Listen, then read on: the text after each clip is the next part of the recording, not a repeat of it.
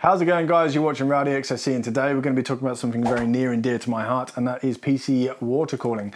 Now the purpose of this video is it's going to be one of many that I'm putting into a series basically just as an introduction into custom water cooling all the way from the basic beginner, I don't have a clue what I'm doing vibes, all the way up to the more advanced stuff. So yeah, if it's something that is going to be helpful to you or if you just want to come along for the ride then stay tuned and we'll get to it.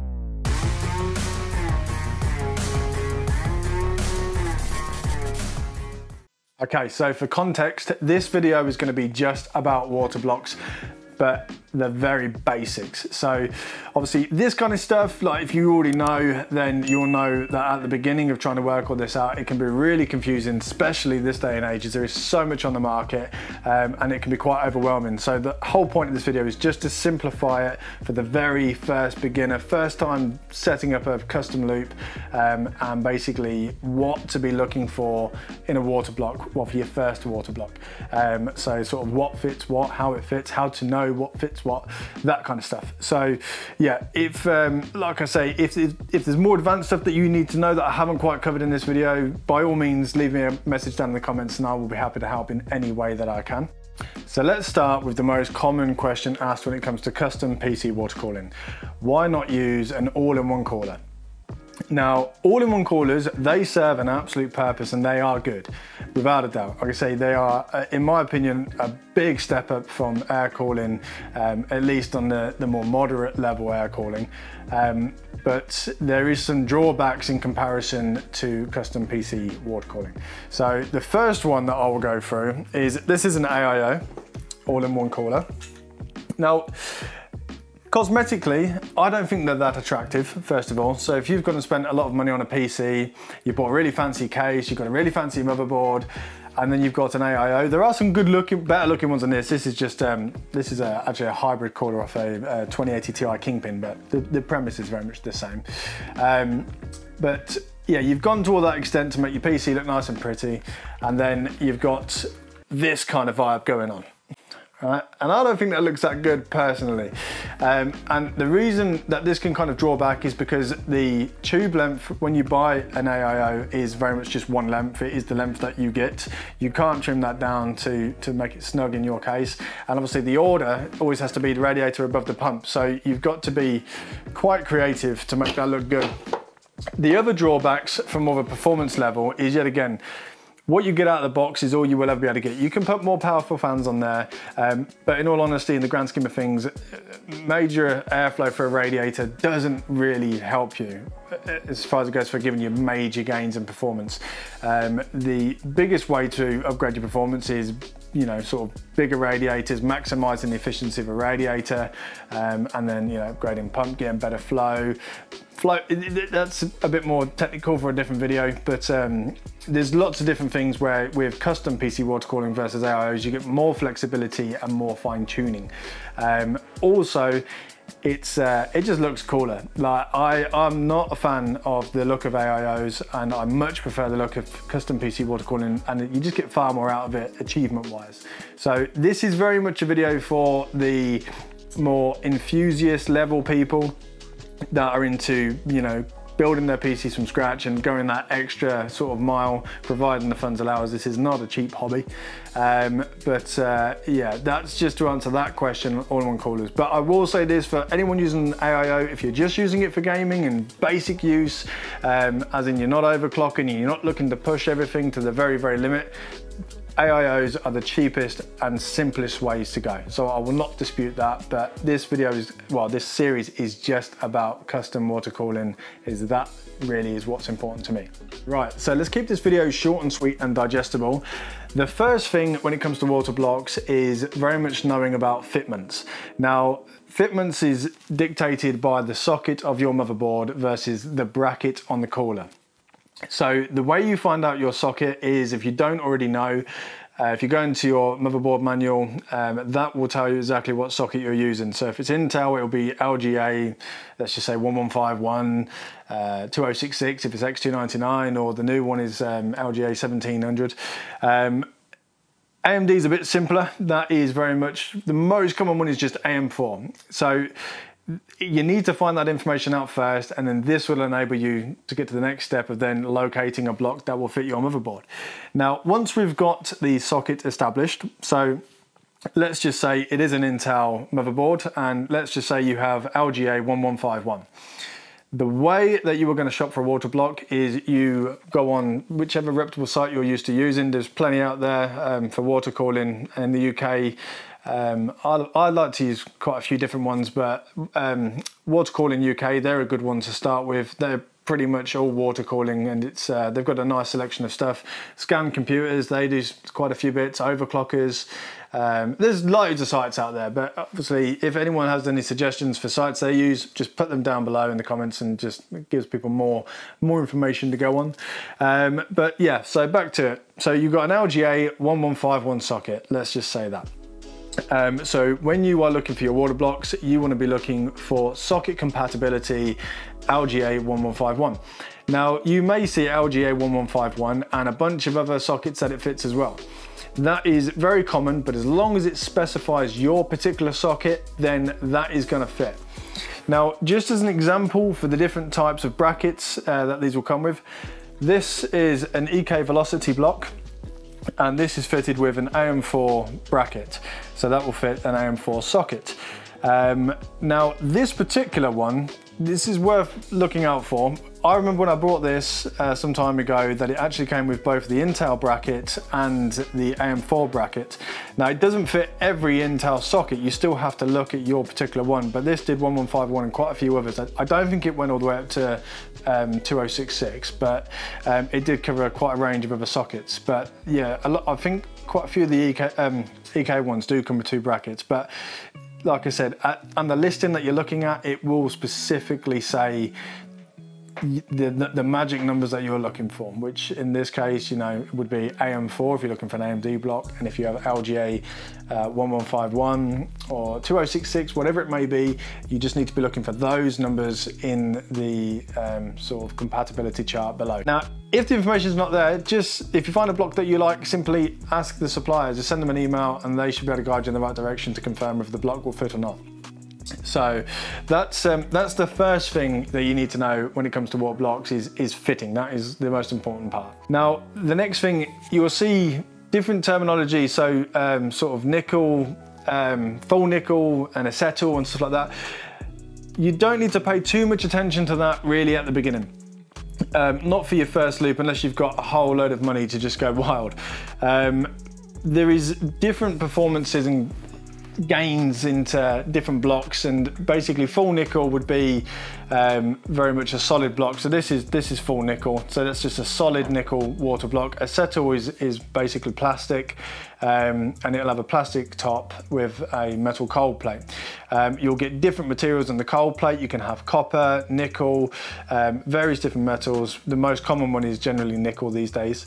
Um, so yeah don't get too hung up on that at the beginning if you really want to go into it, there is so much that you can read up on, you know, the um, the makeup of blocks and the benefits between, you know, a full nickel versus acetal.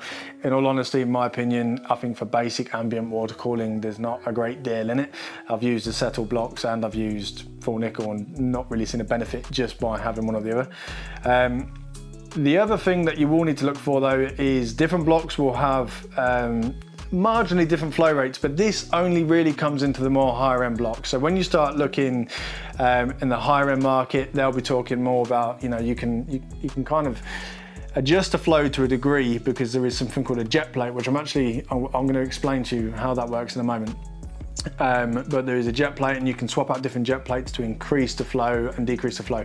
Yet again, if you're just starting out, don't get hung up on that. Like, it's not really that important. You just want to be looking for a good, reputable block. Um, and generally, if you're spending anywhere between sort of 40 to 70 pound range, that's going to buy you a nice mid-range block. Um, if you go higher than that, you can go all the way over 200 pound now in water blocks. Um, obviously, that's going to give you a really great performing block, but real world gains probably you're not going to see, um, especially if you're just on ambient water cooling. So it very much depends on your budget, but my opinion would be just keep it simple, concentrate on the fitting of the block, find a block that you like the look of, one that works for your build, um, and providing it fits, just go for it. And you know, this is the beauty to PC water cooling on customizable level is you can always upgrade down the line, um, but it keeps things simple at the beginning. It, it will all, this hobby for most people, it runs out of control. Like I remember way back when, um, like seeing PC water cooling for the first time and I was just like, what the hell, that guy's putting water in his computer? And that just blew my, that premise blew my mind. And you know you kind of figure that out and how that works. And this is what this video is for to help speed up that sort of notion.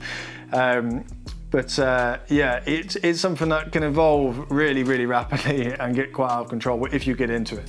So yeah but just keep it simple that is key here just keep it simple know your, your compatibility know the fitting know your socket and just find a block that you like and if you like the look of it and it works in your build and it fits buy it um, now, I'm actually going to take this a little step further. I'm going to show you how a water block actually works.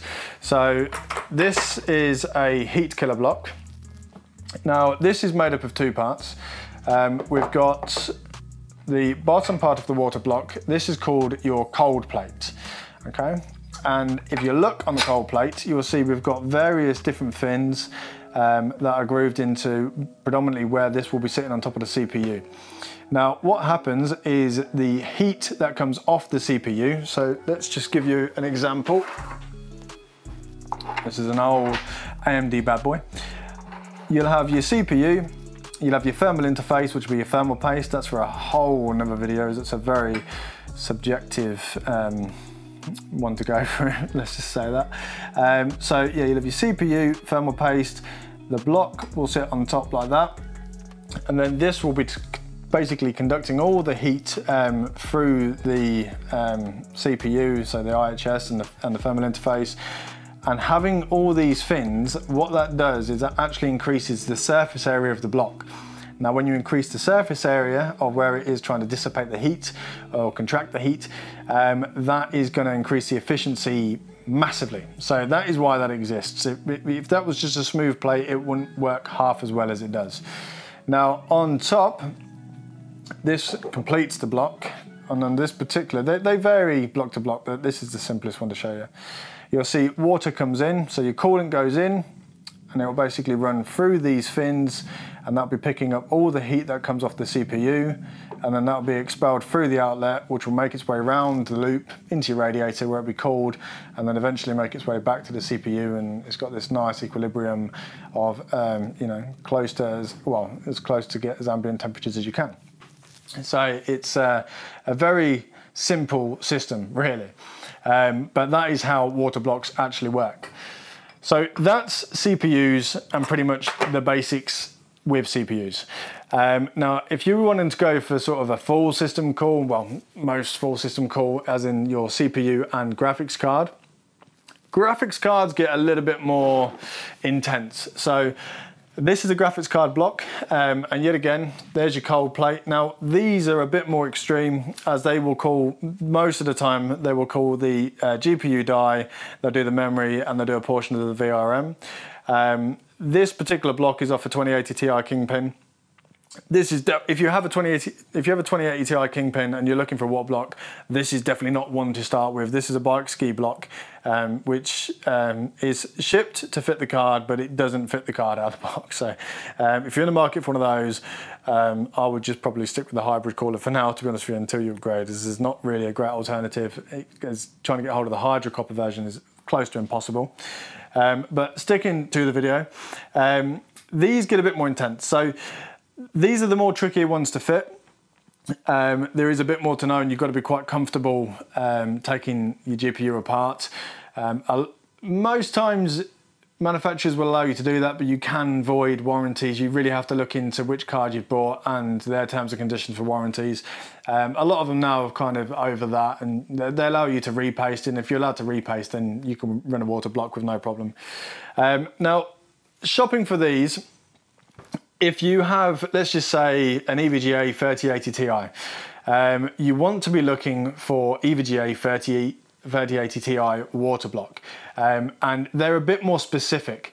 Now, the only times that it sort of runs away a little bit is if you have a reference style card. So reference design is basically what's shipped directly from NVIDIA. So the PCB is as they laid it all out and it's a reference design. So you'll find a lot of them, a lot of blocks, EK blocks specifically, when you look for those, they'll just say uh, compatibility reference card. Um, so if you have a reference design, which you should be able to find that out through the manual. If not, just go online, type in whichever manufacturer card you have, um, and it will tell you whether it's a reference or whether it's not. Um, because the ones that aren't are generally custom PCBs that uh, the manufacturers have tweaked around with to obviously increase efficiency and uh, power delivery and all of that. So it, it, you have to be quite careful when it comes down to reference. But if you have, if you know you have a reference card and you found that information out, then just a reference block should fit. If you are unsure, just yet again ask the supplier. It, it takes probably five minutes to send an email like that, and at least you've got absolute confirmation it's going to fit. Um, but apart from that, you're looking for you know compatibility that goes for your specific block. So if it's an EVGA 3080 Ti, you're looking for EVGA 3080 Ti. Now, when it comes to the workings of these blocks, very similar to the CPU, you'll have your water in or coolant. That will come round. And now this will hit a jet plate now you do find these jet plates in CPUs as well. Um, in the Heatkiller series I don't think they actually have a, a, jet plate but the Velocity certainly does. Now the jet plate kind of condenses the flow and then basically will spread that down the fins and guide it where it wants it. So the coolant will come in through here, through the jet plate, through the cooling fins. Um, that will carry away all the heat generated by the block, um, well, the GPU, and then that will expel that through the outlet. Yet again, making its way around your radiator, eventually being cooled and delivered back to the block. So that is, as promised, the very basics. You can go so much further with this and there is so much more to know, but in all honesty, for getting set up and just buying your first water block, what we've discussed here today is all that is really relevant. Now, if there is, like I said, questions that I haven't quite covered, and I probably have missed some stuff, but I'm pretty much sure I've got the, the core of it down. But if there's anything else additional that you need to know, there's no such thing as a stupid question when you're starting out. Um, just ask that down below. Um, and if you are an advanced user yourself, and you have something to add, kindly put it down in the comments um, just for people to see, as this can be a nice little hub of information for the beginners. So yeah, that covers that one. Um, like I said, the series will be moving on component to component, so we're going through radiators, pumps, hoses, fittings, all of that, um, and then we'll get into assembly of loops and obviously what you can go further from there. You've got your single loop, you can do dual loops and the, the benefit of a dual loop versus, you know, sort of a, a mono system. Distro blocks, the lot We'll cover the lot eventually. Um, but I'm going to break it up between other videos, but ultimately I'll just, this will be named the same series so you can kind of follow it as it, as it goes along. So yeah, if you liked this video, please do hit that like button as it really does help um, as you know, new channels do suffer. Um, and yeah, if this is a series that you're interested in following, please do subscribe and turn your notifications as that really does help out as well. And yeah, once again, as always, thank you very much for watching and we will see you on the next one. Cheers.